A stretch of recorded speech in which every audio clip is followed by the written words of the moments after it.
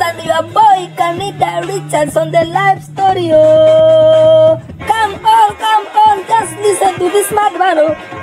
He has gone over the entertainment industry. Get entertained. Oh.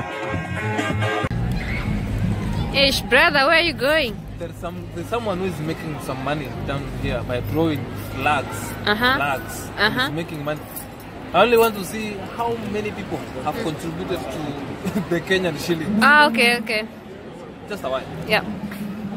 So, So- this man is making just money by drawing everything on This the floor. one. This one. Uh, this one. Just go. I want to look for Kenya. Which which country has more money? There's a country that has more money there. This one Which country is this one?